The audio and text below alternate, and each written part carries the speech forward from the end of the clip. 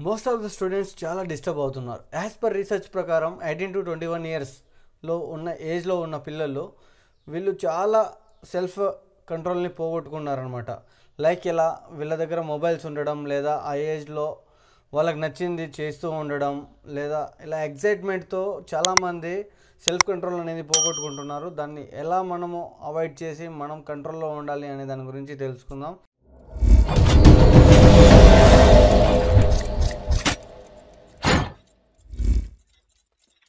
నా ఫ్రెండ్ ఒకడు ఉన్నాడు. వాడు ఎప్పుడు మొబైల్ చూడడం మొబైల్లో రీల్స్ చూడడం అన్నెసెసరీ థింగ్స్ అడల్ట్ కంటెంట్ ఎక్కువగా చూడడం ఇలా చూసి చూసి ఫైనల్గా నాకు ఏమన్నాడంటే నేను కెరీర్ మీద ఫోకస్ చేయలేకపోతున్నాను స్టడీస్ మీద ఫోకస్ చేయలేకపోతున్నాను అని అన్నాడు అనమాట సో దా దానికి చాలా రీజన్స్ ఉంటాయి. ఆ రీజన్స్ ఏంటో మనం తెలుసుకుందాం. ఫస్ట్ థింగ్ మనం లైఫ్లో టూ థింగ్స్ అనేది మేజర్ ఒకటి సర్వైవల్ రెండోది ప్రోక్రియేషన్ సర్వైవల్ అనేది ఏంటంటే లైఫ్లో మనము బ్రతకడానికి తినాలి. సో మనం సర్వైవ్ అవ్వాలి అంటే ఖచ్చితంగా తినాలి. It's a feeling. మనం తింటున్నామంటే బ్రతుకుతున్నాం. గుర్తుపెట్టుకోండి. And procreation. ఇది పెద్ద ఇంపార్టెంట్ ఏం కాదు బట్ సమ్ సిచ్యువేషన్స్ని బట్టి దీన్ని యూజ్ చేస్తారు. లైక్ మనుషులు సెక్స్ చేసుకోవడం సెక్షువల్ ఫీలింగ్స్ రావడం ఇలాంటివి అనమాట ఇది లేకుండా కూడా మనం బ్రతకచ్చు. బట్ చాలామంది స్టూడెంట్స్ ఏం చేస్తున్నారంటే అడల్ట్ కంటెంట్ అనేది ఎక్కువ కన్జ్యూమ్ చేయడం వల్ల సెల్ఫ్ కంట్రోల్ అనేది పోగొట్టుకుంటున్నారు.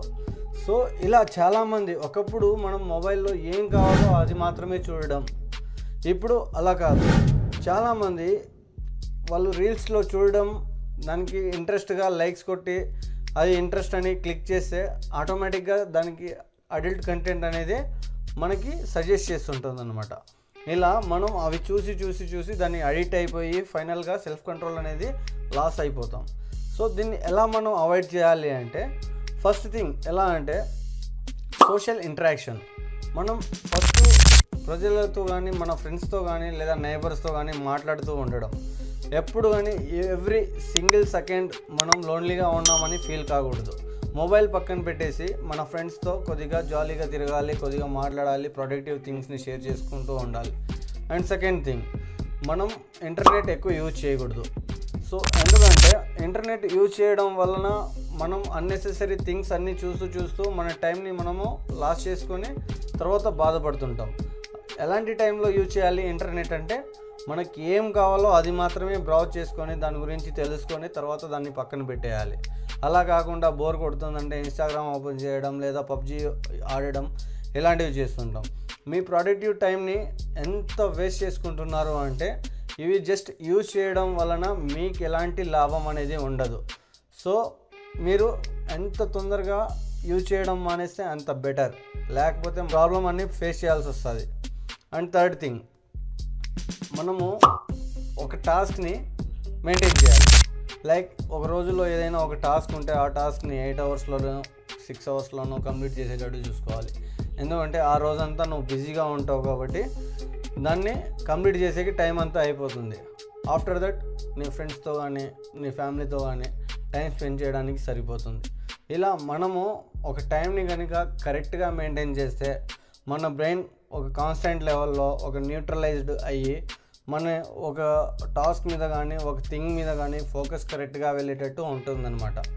ఇలా కాకుండా చాలామంది ఏం చేస్తుంటారంటే చదువుకునే టైంలో చదువుకుంటారా అంటే మొబైల్ చూడడం లేదంటే పబ్జీ ఆడడము బయటికి వెళ్ళిపోయి టైం వేస్ట్ చేయడం ఇలాంటివి చేస్తుంటారు.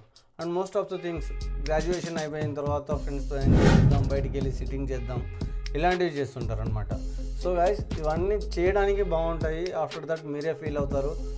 ఇవన్నీ ఎంత తొందరగా మానేస్తే అంత మంచిది. కెరీర్ మీద ఫోకస్ చేయాలి అంటే మనము ఖచ్చితంగా ఒక టాస్క్ని మెయింటైన్ చేసి దాన్ని కరెక్ట్గా యూటిలైజ్ చేసి దాన్ని కరెక్ట్గా కంప్లీట్ చేసేటట్టు చూసుకోండి. చాలామంది సెక్షువల్గా కానీ సెక్షు సెక్షువల్ అడిక్ట్ కానీ అవుతుంటారనమాట అరే అన్న మనం సెక్స్ అడిక్ట్ అయితే ప్రాబ్లం ఏంటి? మనము అలా ఆ వీడియోస్ చూస్తే ప్రాబ్లం ఏంటి అని అంటారు. ఎప్పుడు ఎవరికి ఏ ప్రాబ్లం రాదు.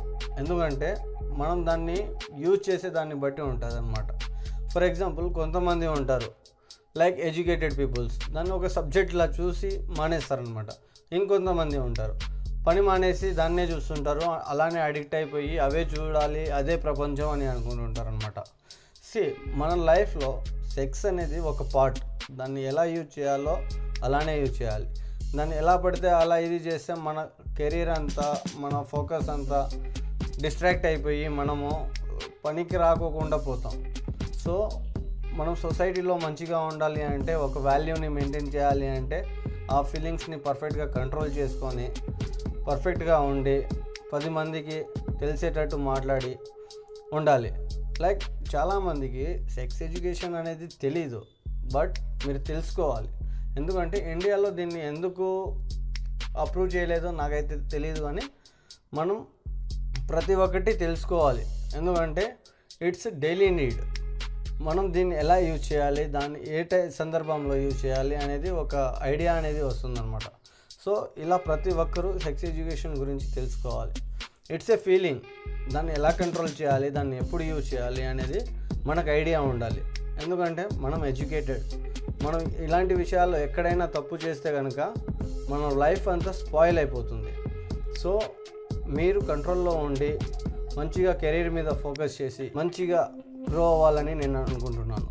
ఈ వీడియో మీకు నచ్చినట్లయితే లైక్ చేసి మీ ఫ్రెండ్స్తో షేర్ చేయండి. అండ్ కొత్తగా నా ఛానల్కి వచ్చినట్లయితే ప్లీజ్ సబ్స్క్రైబ్ చేసుకోండి.